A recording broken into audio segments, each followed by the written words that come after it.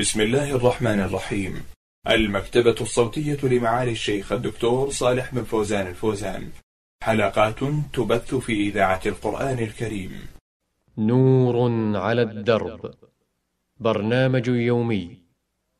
يجيب فيه أصحاب الفضيلة العلماء عن أسئلة المستمعين. الحلقة الحادية والثمانون.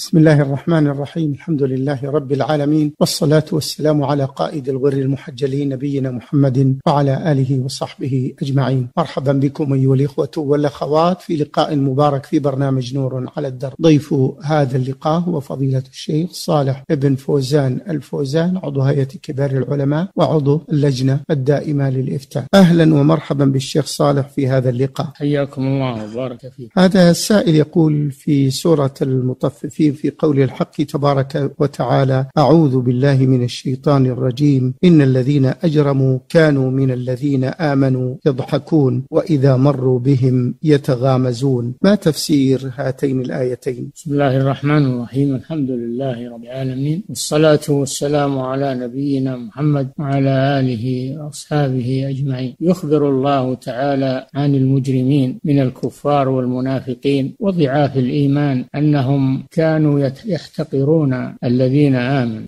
المؤمنين الصادقين يحتقرون. كانوا من الذين آمنوا يضحكون. احتقارا لهم تصغيرا من شأنهم. وإذا مروا بهم يتغامزون. أيضا يشير بعضهم إلى بعض غمز بالغمز باليد باليد أو بالشفة. احتقارا لهم أيضا. وإذا انقلبوا أي هؤلاء المجرمون انقلبوا أي رجعوا إلى أهلهم إلى بيوتهم وعوائلهم انقلبوا فكهين متفكهين بأعمالهم أعراض أهل الإيمان وما قالوه فيهم فإذا انقلبوا إلى أهلهم انقلبوا فكهين. وإذا رأوهم رأوا أهل الإيمان قالوا إن هؤلاء لضالون أي ضالون عن الطريق وليسوا على طريق صحيح. إن هؤلاء لضالون. قال الله جل وعلا وما أرسلوا عليهم حافظين. ما أرسلنا هؤلاء على أوليائنا وعلى أهل الإيمان حافظين لأعمالهم وأحوالهم حتى يصل بهم الحال إلى هذا الانتقاد اللاذع. ثم قال جل وعلا مبينا عاقبة هؤلاء فاليوم الذين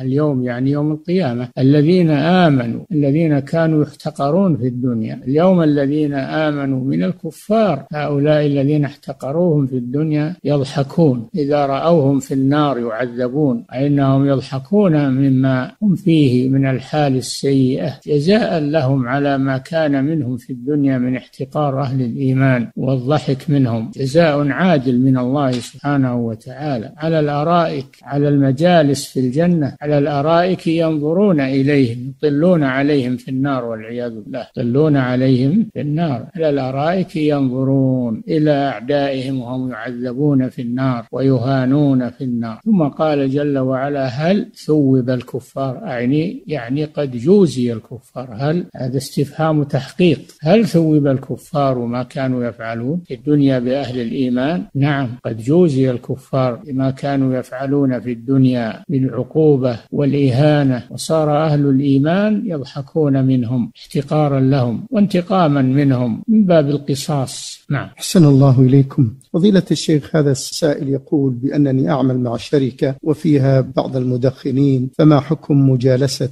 هؤلاء مأجورين؟ لا تجالسهم من باب الأنس بهم والفرح بمجالستهم لا تجالسهم بل ابتعد عنهم. وأما إذا كان يجمعك وإياهم العمل فإنك بعد مناصحتهم تبرأ ذمتك تؤدي عملك. نعم. يقول الشيخ ما حكم تقبيل آه، المصحف؟ لا أصل لذلك لا دليل عليه إلا من فعل بعض الصحابة اجتهادا منه. نعم. ما مقدار العلم المجزئ فضيلة الشيخ الذي تبرأ به الذمة؟ ما يستقيم به الدين ما يستقيم به دين المسلم في عقيدته في صلاته وصيامه وزكاته وحجه وعمرته ما يستقيم به دينه. هذا ضروري هذا علم ضروري. ما زاد عن ذلك فهو فرض كفاية وهذا فرض عين على كل مسلم أن يتعلم ما يستقيم به دينه من عقيدته وصلاته وزكاته وصيامه وحجه وعمرته. نعم. هل علوم الدنيا فضيلة الشيخ تدخل بالعلوم الشرعية وتكون من العلم؟ علم هي علم لكنه ليس علما شرعيا إنما هو علم دنيوي حرفة من الحرف وهو مباح. أن يتعلم الإنسان أمور الدنيا وأمور الكسب وأمور الحرف والصناعات هذا مباح. بعد أن يتعلم الضروري من أمور دينه ما يستقيم به دينه. نعم. يقول ما مناسبة قول الرسول صلى الله عليه وسلم أنتم أعلم بشؤون دنياكم هذا في غير أمور الدين هذا في أمور الدنيا والصناعات والحرف فهم أدرى بذلك. والأنبياء ما جاءوا يعلمون أمور الدنيا إنما جاءوا يعلمون أمور الدين وأمور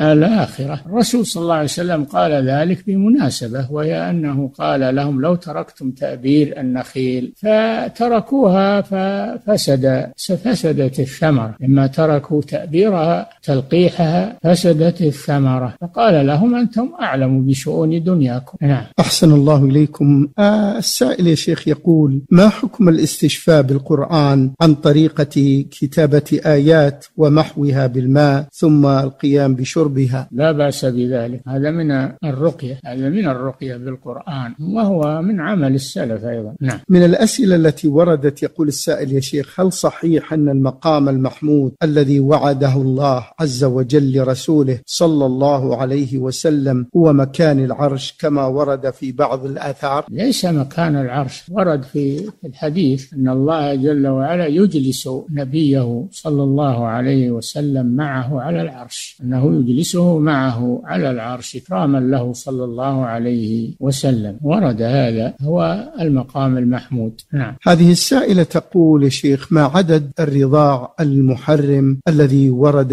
في القرآن والسنة؟ الرضاع المحرم ما كان خمس مصات. خمس مصات في كل مصة يبتلع اللبن من الثدي أو من إناء. إذا مص اللبن خمس مرات وذهب إلى جوفه فإن هذا يفيد يفيد المحرمية. نعم. يقول السائل يا شيخ عندي زكاة مال وأرغب أن أستثمر هذه الزكاة في المساهمة في بناء مسجد. لا الزكاة لا تبنى بها المساجد والمشاريع الخيرية. الزكاة تصرف في مصارفها الثمانية المذكورة في الآية. إنما الصدقات للفقراء والمساكين والعاملين عليها والمؤلفة قلوبهم وفي الرقاب والغارمين وفي سبيل الله وابن السبيل. تصرف في هذه المصارف. أما المساجد والمشاريع الخيرية فإنها تمول من التبرعات. نعم. آه هذا سائل آه يقول أنا أدرس في كلية الشريعة وعندي سؤال. هناك البعض من طلبة العلم يا شيخ يبدأون طلب العلم بكتب الأحاديث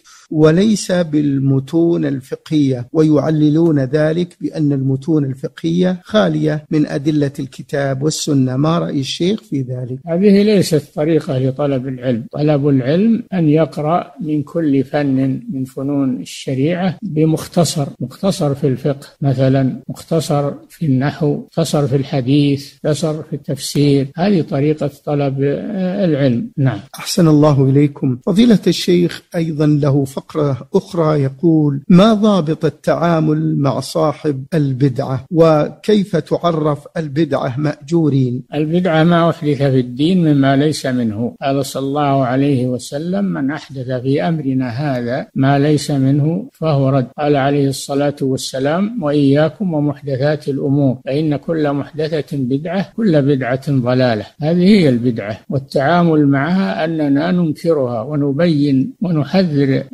منها.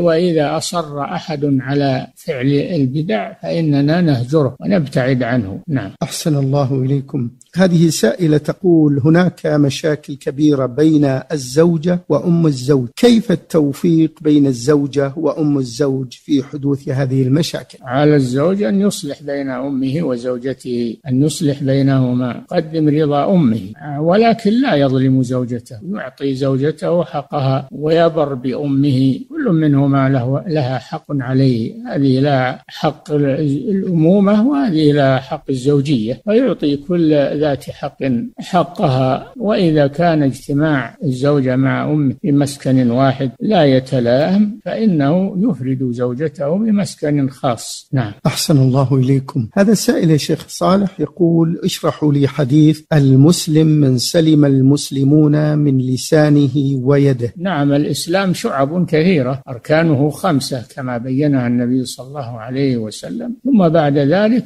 كل ما أمر الله به أو أمر به رسوله فإنه من الإسلام. وكل ما نهى الله عنه أو نهى عنه رسوله فإن اجتنابه من الإسلام. ومن ذلك قوله صلى الله عليه وسلم المسلم من سلم المسلمون من لسانه ويده فلا يتكلم عليهم بالغيبة والنميمة والسباب والشتم ولا يمسهم بيده بضرب أو قتل أو غير ذلك. نعم. يقول هذا السائل أبو إبراهيم قرأت في أحد كتب العقيدة من الإيمان بالله الصبر على أقدار الله. اشرحوا لي هذا العنوان. نعم ما في شك الصبر على أقدار الله المؤلمة. هذا من الإيمان بالله عز وجل. المؤمن لا بد أنه يبتلى في هذه الدنيا. كذلك يبتلى بالأوامر فيها مشقة يبتلى بالنواهي وتجنبها قد يكون فيه مشقة فيصبر على ذلك. يا بني أقم الصلاة وأمر بالمعروف وينهى عن المنكر واصبر على ما أصابك.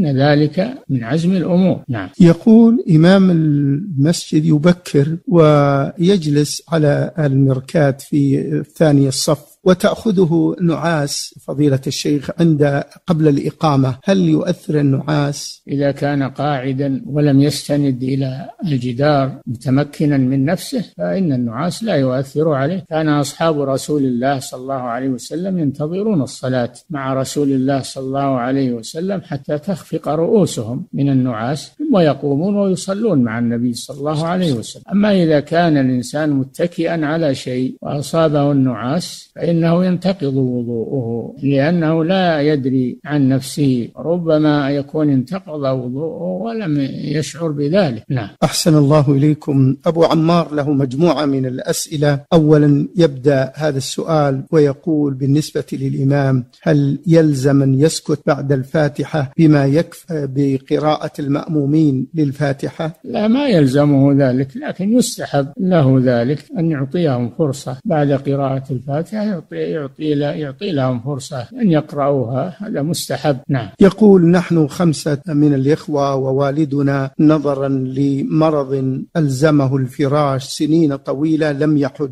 فمن الأحق آه، بنا أن نحج عنه؟ إذا لم يحج حجة الإسلام وصار لا يقدر عليها أو مات ولم يحج فإنه يحج عنه من تركته حج عنه من تركته مقدما على الميراث. وإذا لم يكن له مال كان موسرا ويقدر على الحج لكن افتقر ومات ولم ينفذ الحج فإنه باق في ذمته فيحج عنه وليه من أقاربه. يبرئ ذمته بذلك. نعم. يقول الشيخ أكلف الثوم والبصل ودخول المسجد ما وجه الكراهة بذلك نعم كل ما فيه رائحة كريهة يتأذى بها المصلون والملائكة فإنه لا يدخل به المسجد بل ينقي فمه من ذلك ويعمل ما يذهب رائحة الكريهة ثم يأتي إلى المسجد. والنبي صلى الله عليه وسلم قال من أكل ثوما أو بصلا فلا يقربن مصلانا. رواية وليقعد في بيته. هذا من باب التنكيل له وحرمانه من صلاة الجماعة ومن دخول المسجد. باب التنكيل والتأديب له. نعم.